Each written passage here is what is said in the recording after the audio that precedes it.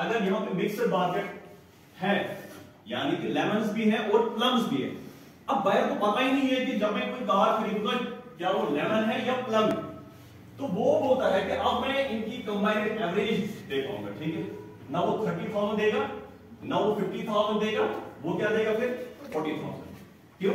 अब चांसेस है कि उसको लेमन भी मिल जाए या प्लम मिल जाए मिक्सड मार्केट में। लेकिन ये कंडीशन तब अराइज होती है जब इनका रेशियो जो होता है वो सेम होता है, ठीक है?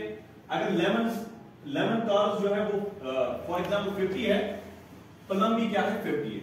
जब इनका रेशियो मार्केट में सेम होता है, तब ये सिचुएशन होती है कि वो बायर जो होता है, वो बोलता है कि मैं इतना पे कर सकता हूँ, अगर मिक्सड मार्केट की बात ये बायर के साइड से ठीक है? अब जब बायर इस मार्केट में आता है तो 50 50 परसेंट चांस होते हाफ़ ये 50 50 परसेंट चांसेस होते हैं कि इसको लेना मिल जाए या इसको लेकिन जब मिक्सड मार्केट की बात हो अगर लेमन है तो, तो 30000 देने के लिए तैयार है। अगर प्लम है तो 50000 but in mixed market is willing to pay only 40000 rupees ये समझ है? अब सप्लाई साइड देखेंगे हम ठीक है? Supply is willing to supply only अगर लेमन है ठीक है? लेमन के लिए हमको चाहिए ट्वेंटी फाइव थाउज़ेंड ओके तब तक लेमन का नहीं बेचेंगे, जब तक इनके पास मतलब जब तक बायर ट्वेंटी फाइव थाउज़ेंड नहीं देगा, ठीक है? तब तक वो लेमन नहीं बेचेंगे। अच्छा तब तक वो प्लम्स नहीं बेचेंगे, जब तक बायर फोर्टी फाइव थाउज़ेंड मतलब पे नहीं करेगा। अब यहाँ पे कंबाइंड एवरेज है क्योंकि ये इनका कॉस्ट प्राइस है। इनको इतना मिलना ही चाहिए। ट्वेंटी फाइव थाउज़ेंड इनका कॉस्ट प्राइस है लेमन का, ये इनको मिलना ही चाहिए, ठीक है?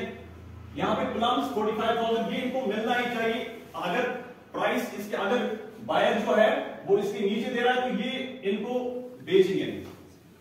ओके अब देखिए ना। Sellers are not willing to offer their cost अगर आप इस टेबल को देखोगे ना इन मिक्सड मार्केट मिक्सड मार्केट में क्या होता है? जहाँ पे लैक ऑफ़ मिनिमम इनकम होती है। ये देने के लिए मतलब फोर्टी थाउज़ेंड देने के लिए तैयार है। बट अगर आप यहाँ पे देखोगे ना, ये बेचने के लिए तैयार ही नहीं है फोर्टी थाउज़ेंड रुपीज़ इनको कितना चाहिए? फोर्टी फाइव थाउज़ेंड ठीक है? अब जब ये बेचने के लिए तैयार ही नहीं है और ये बायर्स जो है ये इतना देने के लिए तैयार ही नहीं है तो क्या होगा? तो ये बाहर चली जाएगी मार्केट से। अब ये बेचने के लिए तैयार ही नहीं है लेकिन ये बेच सकते हैं ना ये फोर्टी थाउज़ेंड देने के लिए तैयार है। तो ये आसानी से ये खरीद सकता है ना बायर तो लेमन यहीं पे रही और प्लम्स यहाँ से बाहर। चले जाएँगे क्योंकि उनको कॉस्ट प्राइस नहीं मिल रहा। है अब क्या हो रहा है? अगर हम प्रोबेबिलिटी निकालेंगे for a proportion of lemons related to plums becomes 6 to 40 यहाँ पे क्या है? यहाँ पे जब रेशियो इनका सेम था, तब ऐसी कंडीशन होगी। प्लम्स बाहर चली गई और वहाँ पे क्या, वहाँ पे कौन सी कार्स रहेगी लेमन कार्स ओके अब इनका अगर रेशियो मतलब चेंज करेंगे, थोड़ा सा इनका रेशियो चेंज करेंगे।